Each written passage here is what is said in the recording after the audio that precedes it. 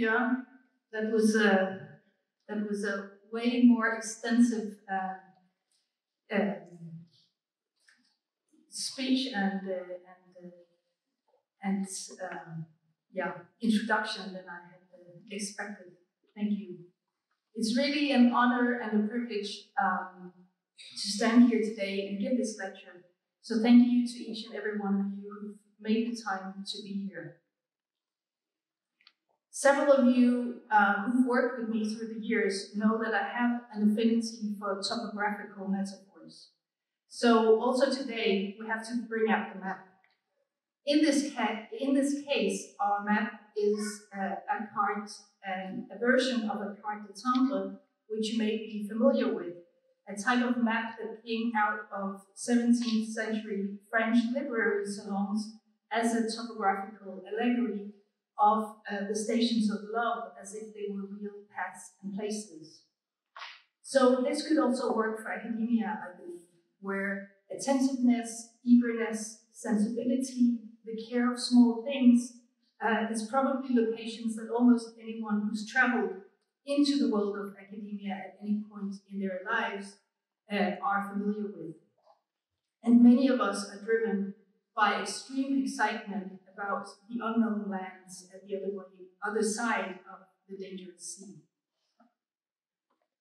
But crossing the map, the lands, and arriving at professor is not an individual achievement.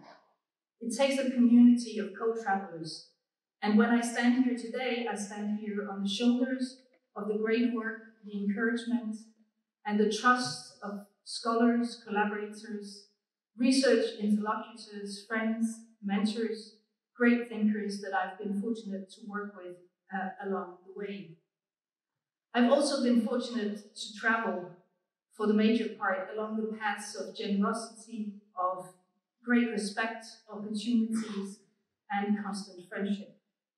So to acknowledge this before we dive in, I want to give you um, at the Faculty of Health, the Department of Clinical Medicine in particular at Aarhus University, a huge thanks for the appointment as Professor of Clinical Medicine. Thank you for having the ambition to invite in a perspective that brings uh, other uh, ideas and other ways of thinking than the common line of research at the faculty, um, and for believing in the potential as of these perspectives, as you also mentioned now, Jørgen, as a part of the Department. And to the elective surgery uh, center at Silkeborg uh, Regional Hospital, to everyone, but to you in the center management in particular, and Mette, you were part of that when I started in Silkeborg. Um, thank you for being daring and trusting and for believing in the potential of anthropology as part of research uh, at the center and for inviting me to take up a permanent position at the center at a time when anthropology was much less recognized in health than is the case today. So why do a lecture in clinical medicine about islands and bridges? You've probably wondered this when you received the invitation for today. And I hope that along the way, somehow, uh, this will make a bit more sense. My focus today will be to explore with you this space in between anthropology and medicine. Um, and I'm obviously when I'm when I want to take us out to sea um, here, I'm speaking about islands and bridges, and I'm obviously preying on well-known metaphors.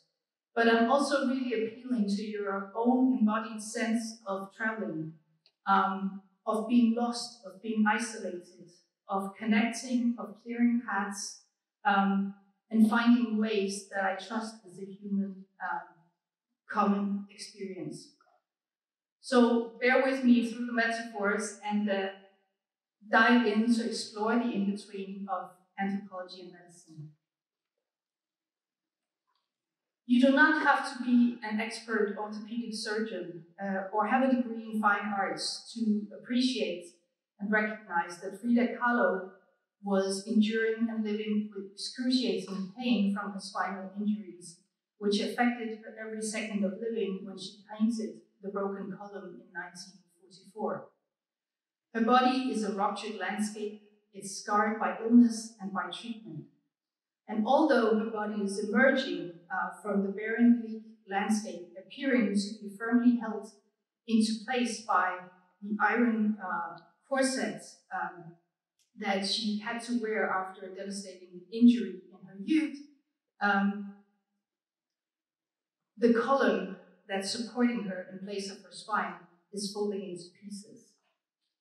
I was fortunate to see this uh, piece in Budapest in 2018 and was captivated by this devastating and genuine mapping it provided of the broken body uh, and of the pain of living with illness. When I shared this experience with back surgeons in Singapore as I returned from my vacation, uh, their response was, this could be any one of my patients. So literature, stories, poetry, songs, academic work has extensively described and analyzed the experience of the body map of illness. What Kahlo gives voice to in this work is the otherness of illness and the isolating experience of pain, making us instantly recognize that not only illness, but also its treatment has existential impact on human life.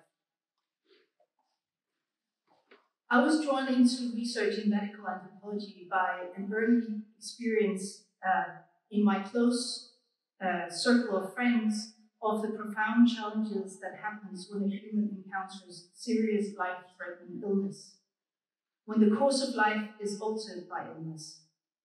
For many, um, the French, we can follow what the French philosopher Merleau-Ponty spoke of when he, when he spoke of the body as a permanent structure of perception over and beyond any of the senses. He says that the body is my point of view in the world. And if we are to follow this line of thinking, uh, when the body is changed by illness, so is the world. And for many, it transforms the world as such. I've had the privilege in my research to be invited into the lives and stories of a great number of people living with illness. And across the very different diagnostic categories that have been used to describe the illnesses the resounding story that, that people tell is that it feels like falling off the map. Illness is isolating. It takes time and great effort to chart a new course of life onto the map, stretching far beyond the treatment and the support of the current healthcare system. Encountering illness is disorienting a woman with breast cancer in one of my studies explained it like this. It's like arriving in an unknown country where you don't know whether to turn right or left. You don't know the roads and you don't know what to expect. And everything is strange. And you have to maneuver this without knowing what's the right thing to do or without being able to ask anybody for advice. What comes out so strongly in the stories people tell about experiencing illness is a sense of alienation, not being able to trust their bodies any longer, feeling cut off from the world. The body may be giving signals that are clinically interpreted as symptoms of illness, but in other cases they're not. And what is experienced is that the diagnosis come about by chance in such cases, often the treatment is what's experienced by people as making them really sick. So the embodied experience of illness, of diagnostic processes, of treatment, and the clinical environment are fields where empirical studies uh, and analysis in medical have documented the complexities of clinical practices, the procedures and institutions contributing more comprehensive and nuanced views um, of the emergence and the experience of illness that has significantly shaped new ways of working towards a more holistic perspective in clinical medicine. The social interaction that is shaping the meeting between patients and physicians configures these encounters, and the relations um, formed at this hub at the meeting, and how these relations are navigated significantly impact the pursuit of a new normal and a sense of self that follows illness. What such patient stories also um, and experiences also tell us is that the dualistic opposition um, of being ill and being healthy is false. While dualism may seem to make sense from the outside, within the strange land of illness, it becomes very clear that dualism of the body and the self, of sick and well, are not true or even relevant. The world of the ill is a constant navigation of daily life. It's what the philosopher and sociologist Andrew Pickering has called uh, the dance of agency between human and non human agents in the world. All these everyday micro dances that patients, uh, the clinic, everyone, clinical practices, technologies give shape to a constant becoming of the world that is now a world with illness as part of the matter. We can, however, trace this dualistic affliction across the history of medicine and in daily clinical practice. It's grounded in the body mind divide that we often ascribe to the French philosopher Rene Descartes.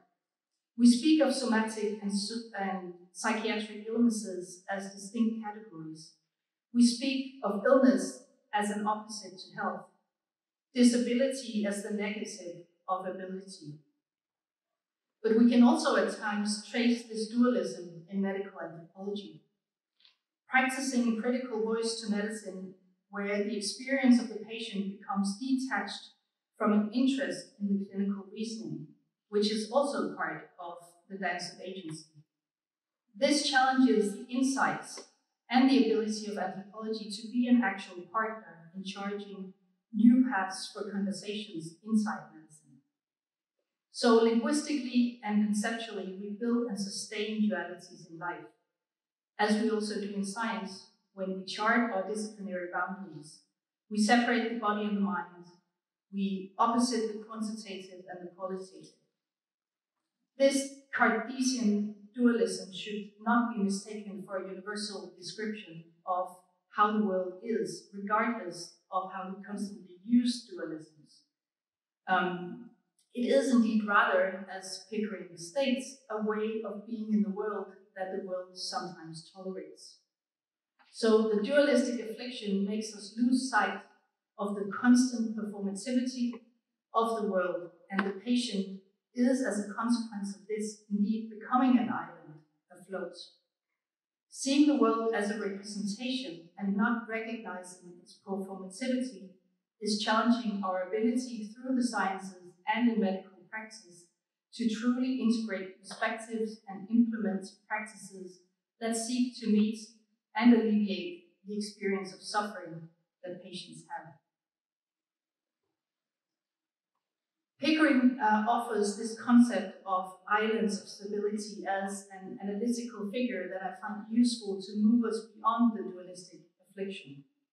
By thinking about our disciplinary and conceptual representations as islands where stability is performed, we can understand ourselves as rooted in specific ideas um, and um, specific ideas and knowledge that grows uh, on these disciplinary islands of stability.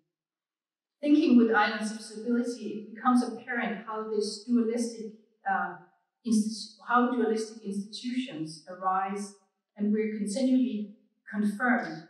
Um, for instance, if we speak about them as hard sciences or soft sciences, or we place medicine and anthropology as separate instances um, or entities. So the islands of stability, uh, Pickering says, are not fixed and stable forever. They are technosocial assemblages with which this sort of performative tuning and retuning tends to work, but it does not always do so. My professorship is about what happens in between and when we fall off the islands. I'm eager to understand the tuning and retuning we do in life, in the clinic, in attending to the ambivalence, the hesitations, the uncertainties that shape our dances of agency in the space where the encounters of illness materialize. My ambition is that the research and collaborations we form in this space will challenge the islands of stability in both medicine and anthropology. The transformation of the individual uh, to a patient holds a loss of control that is both marked and maintained by the, the praxis and the environment of the hospital. The dynamic flow that we see between the clinical environment uh, or in the clinical environment elicits with the patients this ambiguous presence of uh, frustration of the loss of control, but at the same time, a deep appreciation um, for the care received. So, experiences and stories shared by people who live through illness and encounter the treatment interactions that are offered by the healthcare system provides a bridge to recognize all these complexities and this was an extensive focus of my early research. To produce and to sustain humanity um, and healing environments in the clinical practice, to form these spaces where patients can ca catch their breath and recuperate, we need to recognize um, the complex relations between the practices, the space, and care. Um, where the appreciation of these individual needs, the values, and the experiences of the patients are key to clearing new paths uh, to support the patient well-being. So the epistemological difference that we see and we have between medicine and the humanities definitely produce uh, different questions and methodologies in research. And, um, and this contributes to this contributes to extending the perspective on what's at stake um, to humans in health and how healthcare systems interact with uh, these concerns. And not realizing the significance of these differences is a challenge to really growing uh, interdisciplinary perspectives. But despite of this, maybe what makes anthropology and medicine different and apart is less interesting um, as how they may connect if we're really to chart a productive way forward. The increasingly optimized healthcare system in Denmark challenges the sustainability and the humanity of clinical practice at its core, uh, was a statement from the Danish Council on Ethics outlined in their uh, 2021 publication um, on care in the Danish health while research in clinical medicine is traditionally really well prepared to produce the outcomes that we need to improve and optimize treatment, it's less prepared, as also Jørgen mentioned in his introduction, to engage and analyze the salient problems uh, and dilemmas that arise. For instance, when the translation and implementation of medical innovation and technology uh, needs to be transferred to clinical practice or the dilemmas of social inequality in health, or the digitalization of health services um, that we also see uh, significantly in these years. However, all these key challenges uh, to the provision of care and the rights to equal access uh, to healthcare that are cornerstones of the Danish welfare state, and they are challenges in need of interdisciplinary engagement to produce change. So we need to pursue topographical uh, topographies of scientific collaboration that will bring together these different perspectives and recognize the emergent knowledge that grows on these sites, not as islands, but as productive assemblages. We need to bridge between the humanities, social sciences, and medicine, bridges that enable us to tackle the pressing issues that I just described and that will enable us to sustain humanity in healthcare. And it's my hope that we take it as our shared responsibility at the intersection of anthropology and medicine uh, to bridge these islands. The synergies that these bridges will enable are the key to further propagating the potential and ensuring also the sustainability of research and research careers um, in this, this in-between space of humanities, uh, within clinical medicine as we move forward. So why this, uh, while this interdisciplinary space has a lot of uh, a huge potential, it can sometimes feel like you're treading water in the dangerous sea in between uh, solid land, and it takes motivation and preparedness to move in this space. Um, there were ways of describing my research material that I had never, as a student of anthropology, um, been encouraged to pursue in the context of the discipline, and questions uh, I had never asked that I only learned to appreciate when I started discussing my research within medicine. And while I was well trained in exploring and conceptualizing and contextualizing and theorizing, I realized that the words and the concepts that I knew well had completely different meanings and practices uh, in medicine. And this opened up uh, completely new perspectives in very similar problem fields to my thinking. But doing research at the intersection of anthropology and medicine, being curious and believing strongly in the potential of this space, I was still for the longest time struggling with a sense of being neither a proper fit for one uh, nor the other. Arriving at the Interacting Mind Center um, has a special place in this story. I was fortunate in that community to be able to change the narrative of being in between. When I was describing myself as someone who always seemed to fall in the gap of disciplines, I was encouraged to flip the narrative uh, and envision the strength of standing on my own two disciplinary legs.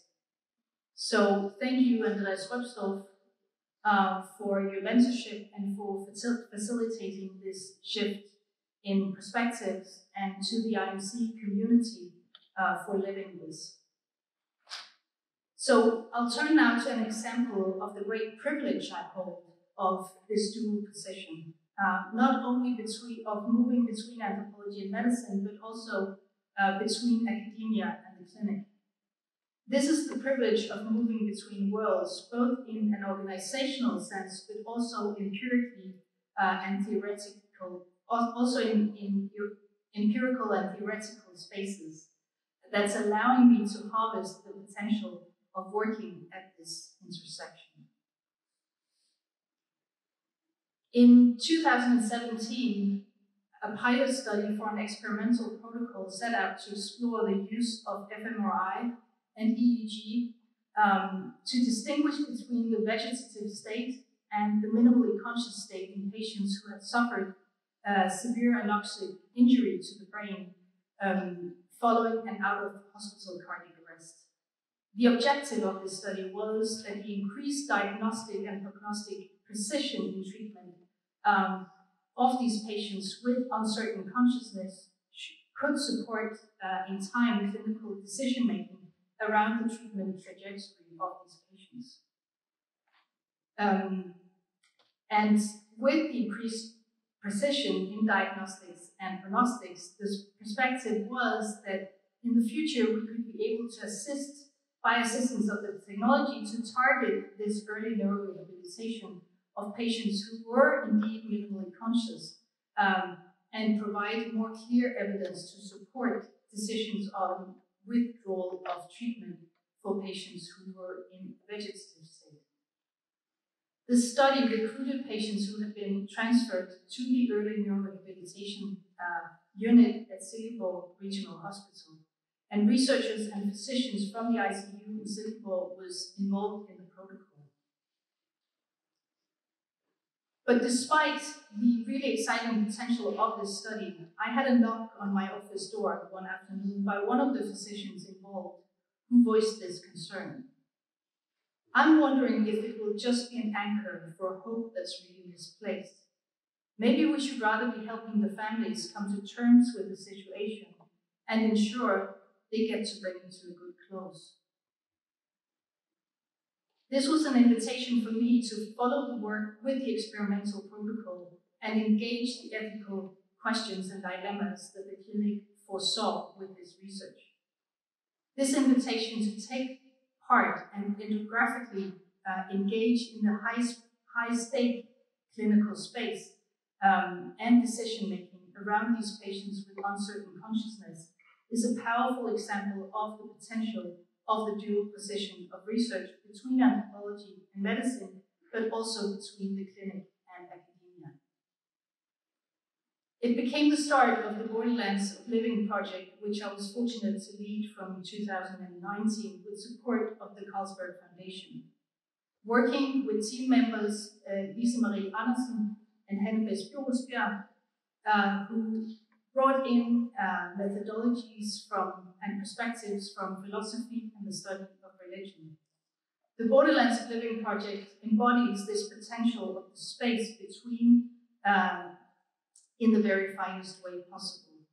The project could not have been developed from inside academia, where the conceptual and theoretical discussions of consciousness, of decision making, of uncertainties do not have access to think with the actual lived experience of the clinical practice in the ICU, a space that's commonly structured around wait and see, where decisions are not a string of decisive moments, but a continuous care practice of reading, interpreting, and negotiating science.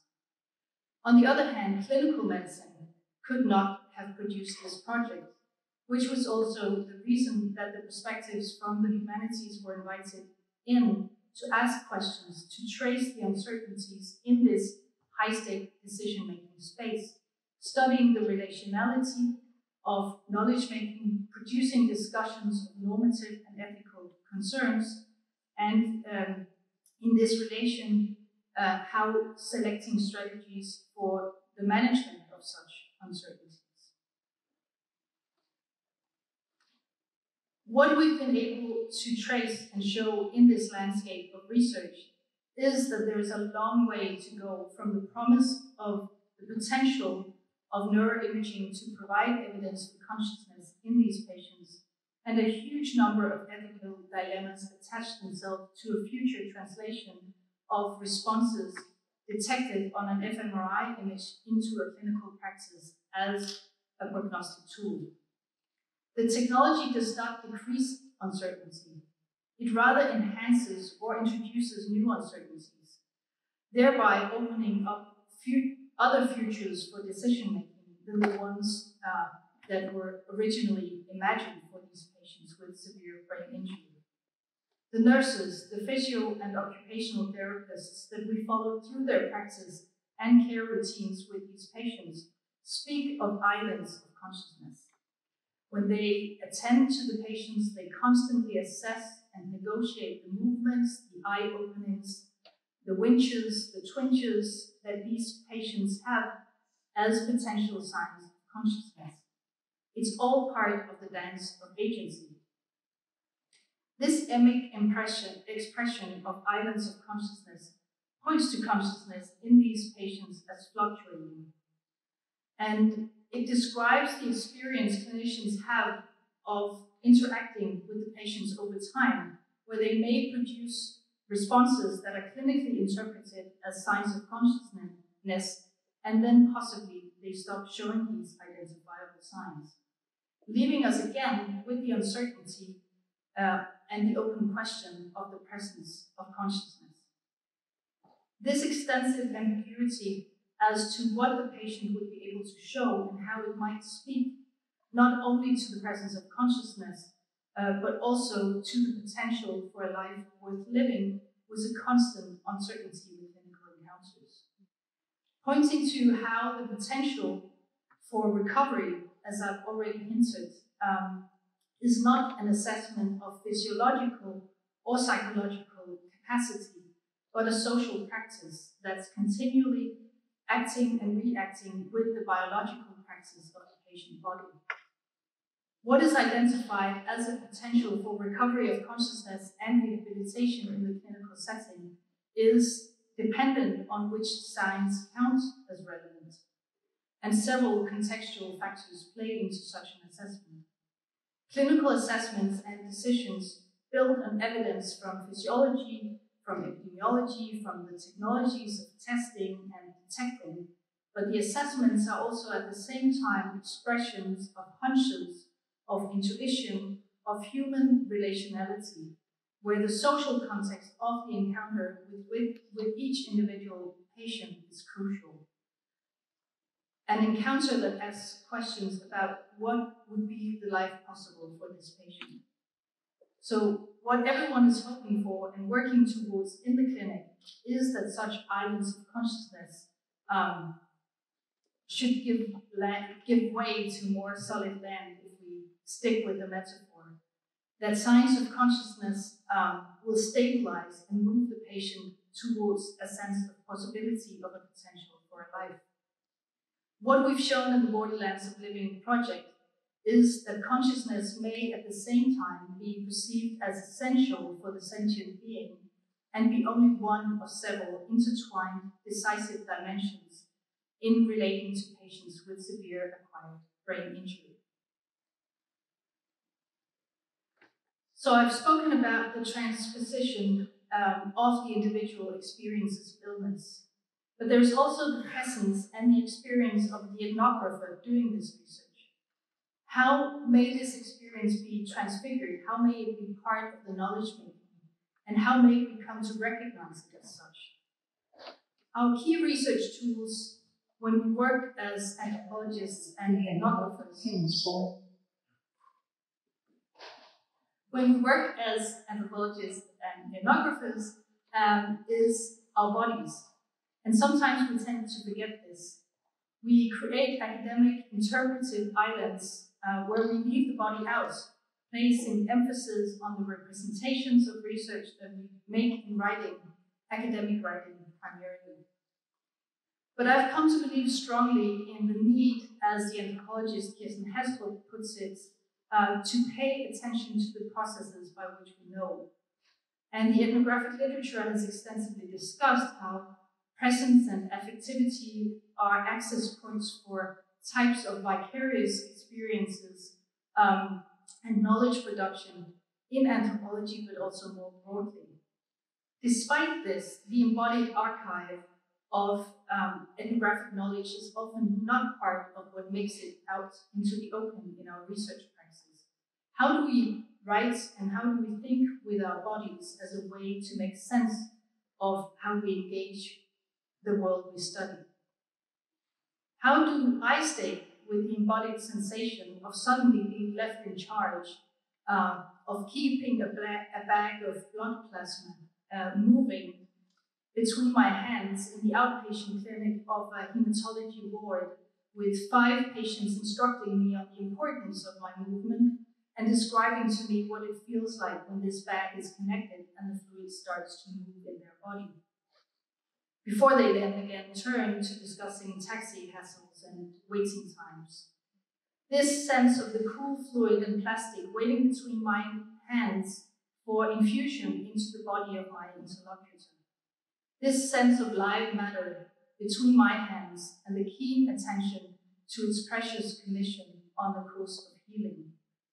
Or how do I make sense of my experience uh, of moving into the scanner to assist the calibration of the fMRI image, the loud noise of the scanner, the music, the almost drifting off to sleep by this monotonous noise, or the experience of seeing my brain image that you were just witnessing before. Um, how do I make sense of this? Um, there's both a value and a price to this embodied insight that shapes the researcher and the person, and it's part of the process by which we know. So there is an immense potential in such encounters during fieldwork, but the embodied otherness and hesitation needs attention, which may be challenging uh, to work with outside of the body. So building bridges also sometimes means um, tearing apart an island of stability that you've come to appreciate. For me, my attention to my embodiment of the ethnographic field and thinking through movement has been one of the bridges over the past years. To destabilize my own research practice and develop my methods to explore these hesitations and the ambivalence of the ethnographic research um, that has been archived in my body for more than two decades. My way into this has been my collaboration with dance artist Marie Hallager Andersen in our project Fieldwork in the Body. Um, and we've tried there to pursue sensations and imagery of my ethnographic experiences through movement. Engaging with Marie's arts-based practice through specific scores, through improvised movement in our collaboration has bridged new ways to think with my own ethnographic experience and provided new points of view that we've both along the way uh, been struck by the similarities and the overlaps of ethics uh, between the practice of dance and ethnography. The shifting of, of weight from one foot to the other, or the pause before you reach for someone's hand, can determine the outcome of the following encounter and will make an impact on the interaction you have. This is as true for ethnographic fieldwork as it is for dance and as it is for clinical practice. So we've had the possibility in this project to invite dance professionals, academics, and patients into a studio on several occasions. For instance, as you see on this photo, to explore how interacting creatively with the materiality of hospital objects and hospital sounds may generate a new understanding of touch and of the hospital space. We've been less concerned in this work with the expansion of each other's, with, with sorry, we've been less concerned with outcomes in this work and more interested with the expansion um, of each other's methodological and epistemic horizons. It's produced new ways of knowing, it's produced new bridges, and transfiguring this individual embodied experience of me, the ethnographer, the researcher, into a shared process of curiosity and knowledge making through movement. So the philosopher Hannah Arendt speaks about appearance as a way in which we can maintain our humanity. When something is being seen and heard by others, it constitutes.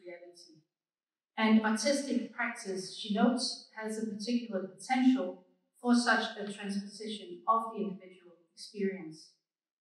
So in this next part of my lecture, you'll come to experience a bridge into thinking about diagnosis, hospitalizations, and the physical and mental scars of the body through the moving body of a dancer. I have the privilege to introduce to you dance artist, choreographer, and filmmaker Marie Hallager Andersen, whom I've been fortunate to work with for the past five years, as I just described.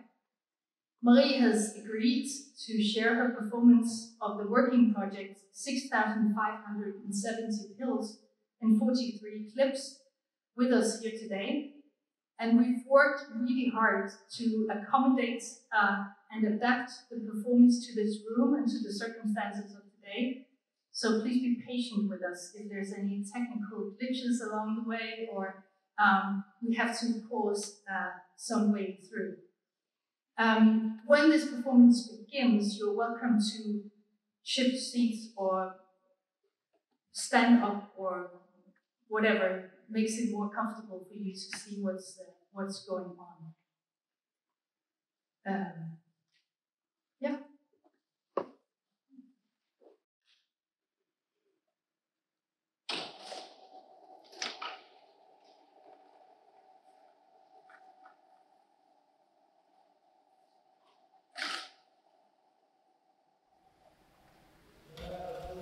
det her meget fint skåne træ, og så den, den, den genfint skåne akryl og det.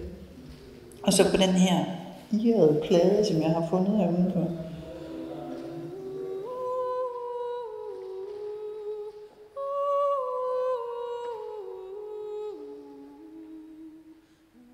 Og så sat sammen, hvor der, altså øh, de der benhårde, øh, meget sådan stilistiske streg, som alligevel også er sådan lidt lidt levende i sig, ikke? Altså, som er sådan en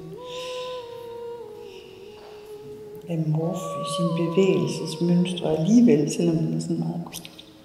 Og så op mod det der, som er sådan mm, i sådan en form for en naturlig transformation, altså det her, som jo egentlig ikke er naturligt materiale, men fordi det har ligget udenfor, så, så, øh, Så det irer jo sådan her, ikke på den her måde. Og det bliver sådan nogle... Altså, nu, hvis der, altså det kunne jo også ligne altså sådan en elning. Altså her har vi det der meget, meget fine ud, og så herover bliver det til sådan noget mere råt, og det har taget, jamen det har taget farve af, af tidens. Og så det her sådan helt raffinerede, fine, meget, meget glatte.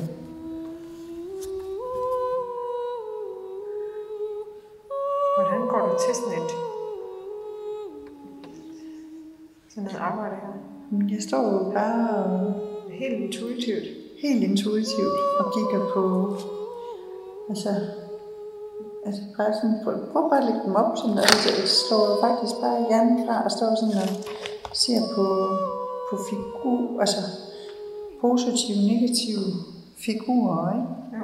Og, og hvordan, og størrelse, og øh, altså former.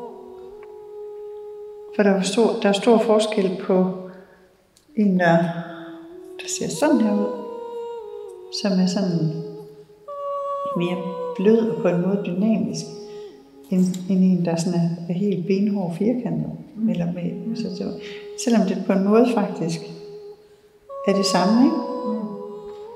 Det er jo egentlig en rumpe begge to, men altså sådan helt geometrisk, matematisk ting, ikke? Men de er jo vidt forskellige.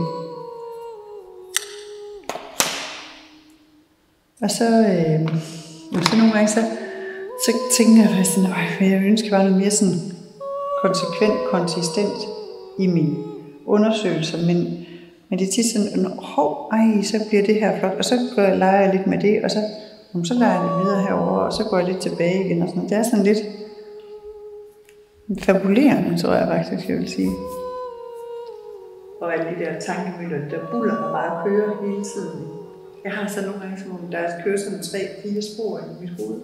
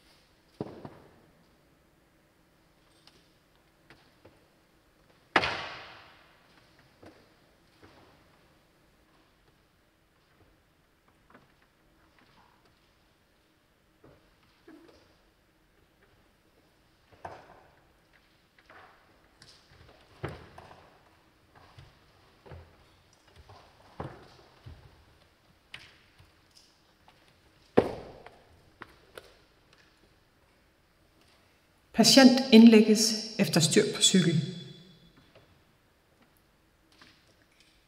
Patienten er beruset. Klokken 1 er væltet på cykel. Og ramt i maven af styret. Nu enkelte opkastninger og mange mavesmerter. Klinisk mistænkes perforation. Der suppleres med CT-scanning af abdomen. Der mistænkes duodenal læsion.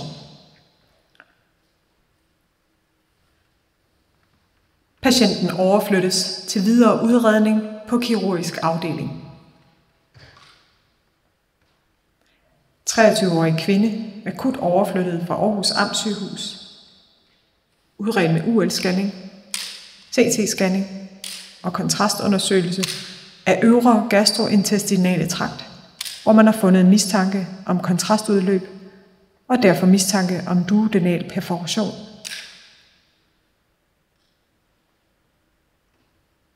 Patienten er overflyttet hertil, hvor hun har fået foretaget eksplorativ laparoskopi.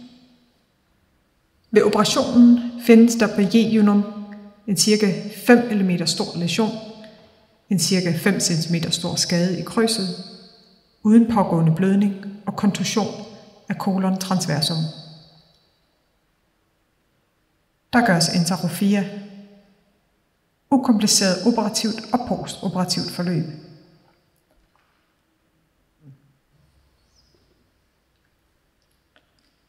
Patientens anamnese 1998 indlagt med falciparum malaria efter rejse i Kenya.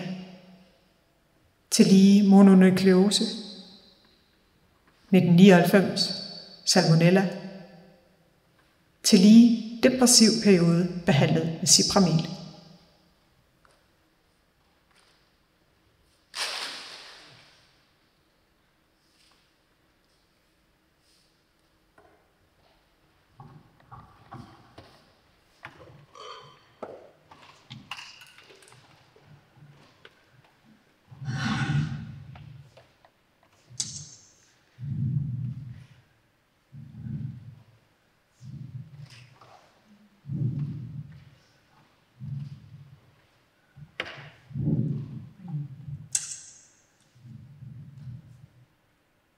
The first thing she sent me was an image. An image of the 43 clips in her stomach.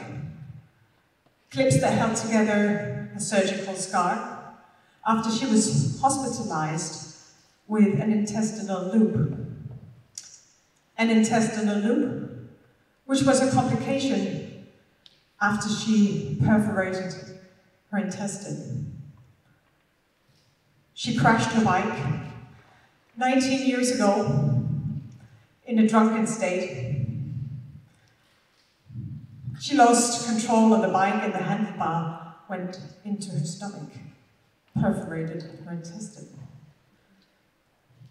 She said that for her, being operated on, being opened up with a scalpel, put under full anesthesia, was a familiar sensation.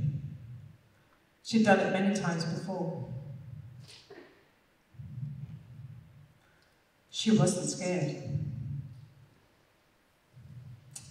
She also went through a long course of medication, a suspected depression, for 15 years. During that time, she swallowed 6,570 pills.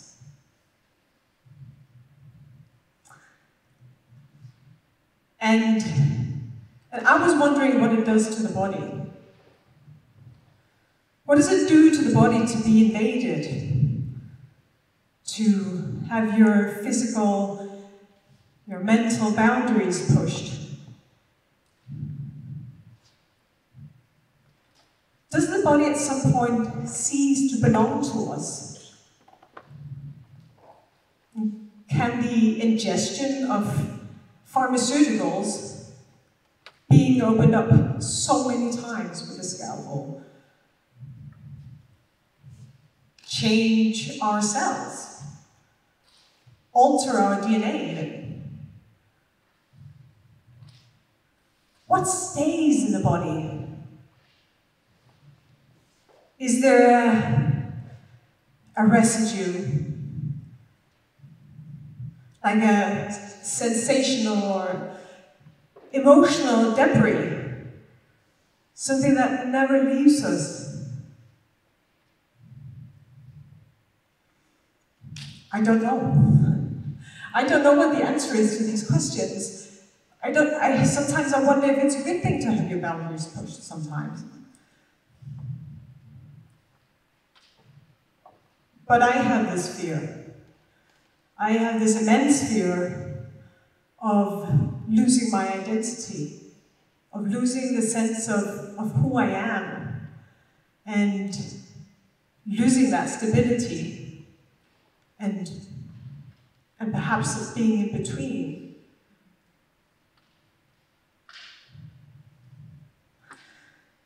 She sent me uh, some audio files as well.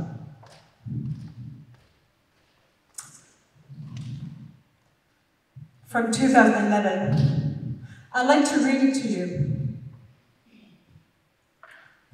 It's Tuesday. I'm home alone. For the first time, I feel a sense of calm. I've been on Cipramil for three weeks. I've gone up to 225 milligrams. It was a bit uncomfortable for a few days, but it has given me energy. Energy I haven't had in a very long time. And then I start to wonder if I'm entering a manic phase. I have a lot of thoughts in my head about lots of projects I want to do. And I've started washing clothes and I signed up for an intro class for, for CrossFit and, and I'm going out cycling. Things that were completely unmanageable before. And the fear of being alone was truly anxiety inducing just a week ago. And it is amazing that it's possible. But I still have this feeling that I'm cheating. I feel like there's a thin barrier between me and the world, with the medicine that is, and it's kind of disgusting. I hope it subsides, because it's plain weird. I can't be present at all. I can't feel my body.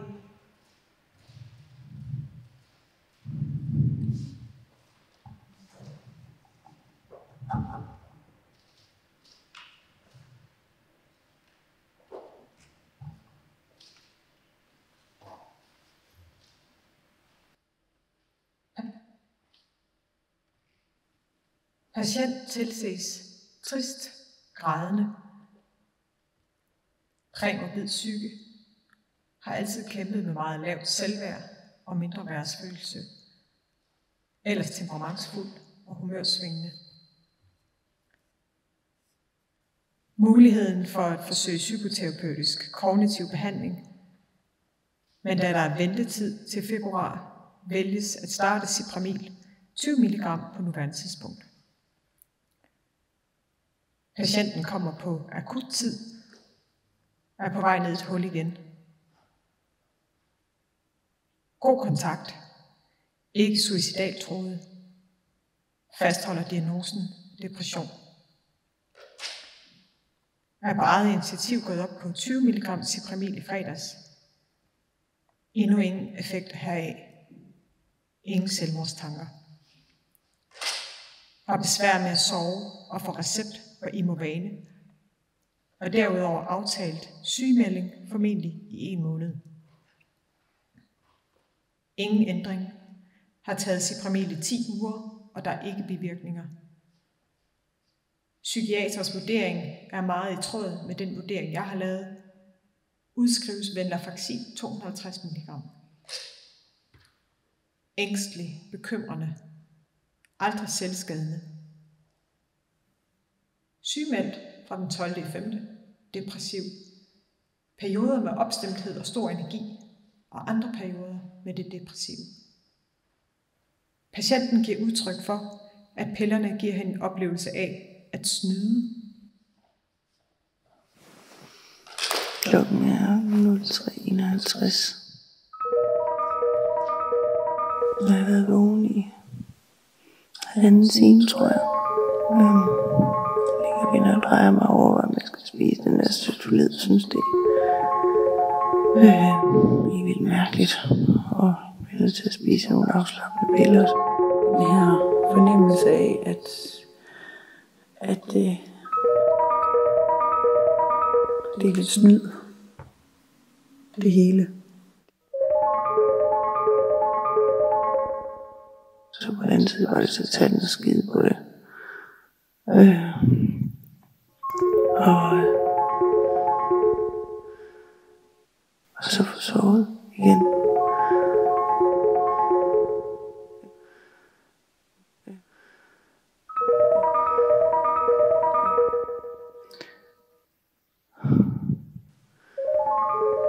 Men hvis det var en drøm, altså, så må jeg ligesom tage det med os. Jeg er blevet træt. Og tankerne kører ring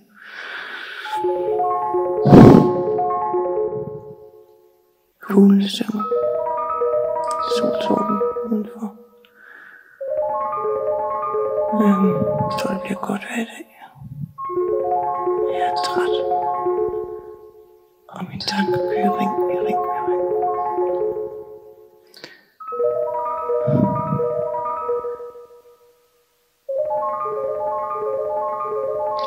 Så er. Jeg vundet.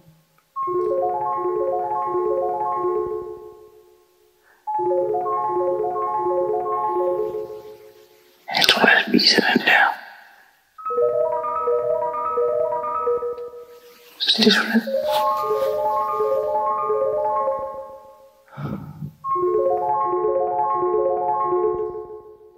Altså 55. Nu har jeg spist den. Men det der medicin, det er med mit klamt.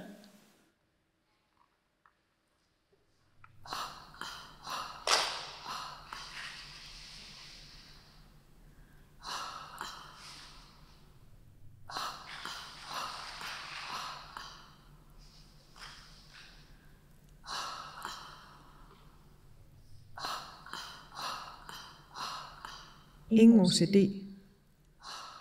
Men hun lider af præstationsangst, klinisk lettere til moderat depressiv. Patienten er i bedring. Ikke føler hun er der, nu når man selv sig selv. Restløshed er helt klart fremgang. Til selvbebrejdelser. Patienten henvender sig med hukommelse, en koncentration værende sover mindre, lavtik og en, der hiver i hende. Starter som led i forskningsprojekt, beskriver forløbet, som starter kollektiv svimmelhed, gruppe, ultimo januar, herefter mindre, men voldsomt igen uændret. Flere tilfælde, mere akut, cipramil, plus Snakkende og stemningslejet løftet. Hun frygter nogle gange, at man det tager magten fra hende. Selvmordstanker, ikke overvejelser, ingen udtrykker, ambivalens, tvivl, manglende selvværd, lyst glæde, selvmordstanker, ikke overvejelser, udtrykker, søvn, tvivl, manglende selvværd, lyst og glæde over fire dage. Fremtaget klinisk melder til mange depressive tager sig og vurderes ikke selvmordstruet. Ængstelig, bekymret, selvbetragt, aldrig selvskader, ramt lettere til moderat depressiv. Vurderes nu enkelt opkast, selvmordstanker, ikke, ikke overvejelse, rastløs, utrykker, ambivalens, tvivl, manglende selvværd, lyst, glæde, restløs, der suppleres med CT-scanning af abdomen, stemningsleje. Klinisk lettere til moderat depressiv. aldrig selvskade, Vurderes ikke Der er ikke ansat. selvbebrejdelser. Glad, Intet psykotisk. fortager sig. Ingen OCD.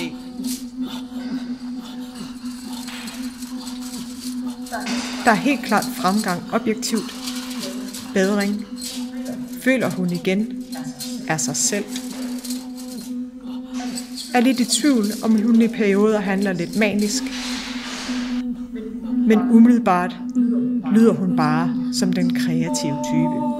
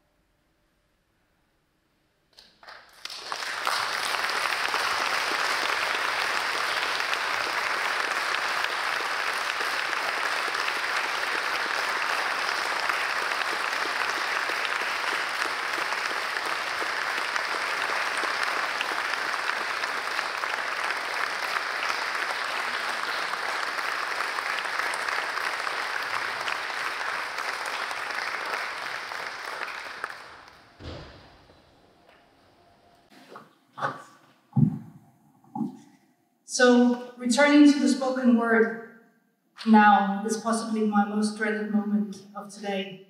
Um, so, I don't think I'll comment, comment much more on the performance, but just let it sit with you. And hopefully, as a bridge to a recognition of the human condition and the complexities of healthcare experiences.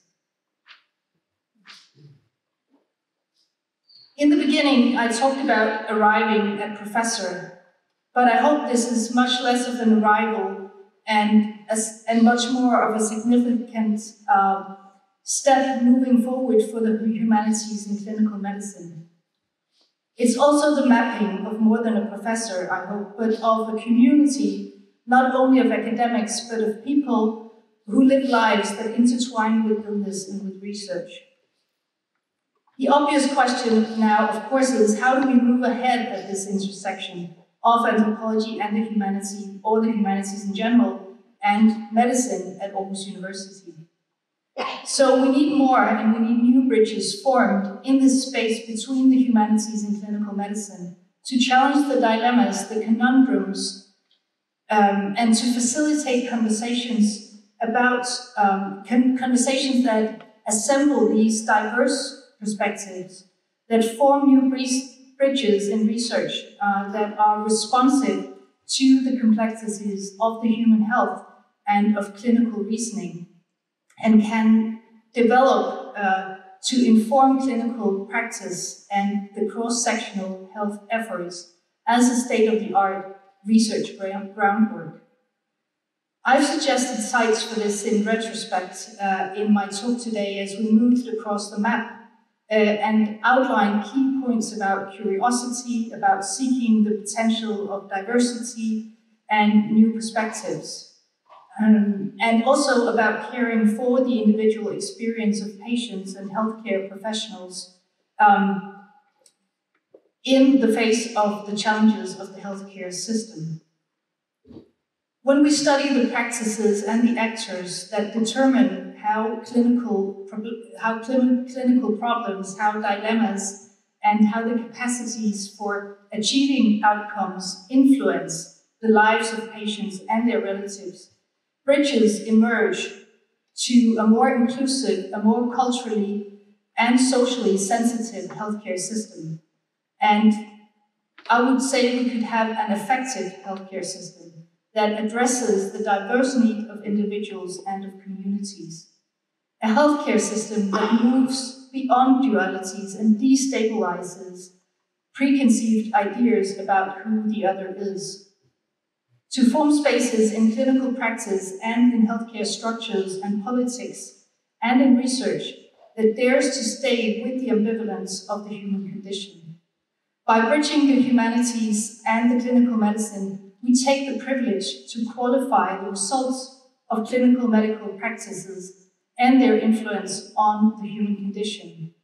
But at the same time, however, this is also a challenge to anthropology and to the humanities in general to acknowledge a shared responsibility in this space, to be a productive, critical voice and a co-creator of the change, to recognize the high stakes of decisions and care in the clinical encounter where the anthropologist is not on the line. The core objective of my professorship is to facilitate such productive assemblages with the ultimate aim of improving healthcare and improving human health. And I believe this to be a cornerstone of a new foundation of integrative clinical medicine that will see not only academic but also financial and organizational support of in the years to come. And it's my ambition to continue towards building these bridges. But building bridges and doing research also takes the engagement of a funding landscape. And I've had the fortune throughout my career to receive financial support to pursue my ideas from several funding agencies that I also hope I'll be working with in the future. And I want to acknowledge the support and thank the funders here today as well. And finally, it's time to move off the map. Thank you all for being here today and taking this journey with me. And specifically, first off, someone here in the audience today, a huge thanks to all the people who've shared their lives with me in research. Some of you have been patients, some of you have been healthcare professionals, some are relatives of people living with illness. You've all shared your experiences of illness, of recovery, of struggling, of falling off the map, and uh, of making treatment decisions and recommendations and caring and hesitating and of ambivalence. Your contributions, your trust, and your friendship has had an immense impact on my life. And I'll always, it will always be my foremost charge uh, in my professorship to do justice to the experiences that you've all shared with me. Marie, thank you. Thank you for our collaboration, for taking up the challenge to explore and share and learn together, and for your brilliant performance here today. Um, the Borderlands of Living Lab, Lise Marie, Bess, Alberta Sever, Nicholas Blunt, who are not here, um, thank you for the time we worked together exploring uh, the borderlands of people living with devastating brain injury. The PhD students, the ones I've had the privilege to supervise along the way, and the ones, the brilliant students I'm privileged to work with currently, Anna, Marie, and uh, Charlotte, as well as research assistants I work closely with, Ronja and Stefan. To all my amazing colleagues at the Regional Hospital in Silkeborg, um, both colleagues from the clinic and from research, um, your dedication and generosity to share your clinical practice and to think along with ideas uh, is admirable and much appreciated. And you are indeed all really exemplary bridge builders. So thank you for that to the management of the elective surgery center in particular, Marie, Maria, uh, Peter, Søren, your continued support of research um, in the clinic uh, as an important part of daily life there uh, is really, really key to the success of research at Silkeborg Hospital. And thank you also for believing in my research as part of this. Line, David, my management colleagues, I look forward to continuing our uh, collaboration. And thanks also to the hospital management of Central Denmark um, Hospital for supporting this professorship. And to the Department of Clinical Medicine, Jørgen, Jeppe, Ellen, who's not here, but also part of this. Thank you to the three of you in particular, but to all the department for embracing anthropology as part of the research at the department um, and for the ongoing discussions we have uh, and that I look forward to continuing about medical humanities as a part of clinical medicine uh, over the coming years. The Interacting Mind Center, uh, Andreas, previously for your leadership, Christine, now for your amazing leadership uh, of this really special place. A huge thanks to you for, uh, for this vibrant academic community and to all colleagues at the IMC who've crossed my, my paths during the years there. And a huge thanks to all the generous billion people who've encouraged me to do research and believed in my potential um, during the, the years and who supported and challenged me along the way. Um, my family, my friends, uh, my parents, my sisters, um, Ella, Mina, Ida, um, you are the best part of the journey I've ever had. So thank you for that. And Martin, thank you for being my life partner and taking part in this journey as well. So now, bubbles, refreshments um, outside. I hope you'll join me again in thanking Marie for her uh, brilliant performance and that you'll have time uh, now to reflect with each other and discuss ideas. Uh, I always also want to let you know that outside are artworks by Ida Marie, uh, who was part of the film the conversation with Marie that we saw in the beginning and who shared her story in this uh, performance. So thank you, and please have conversations about those as well. Thank you.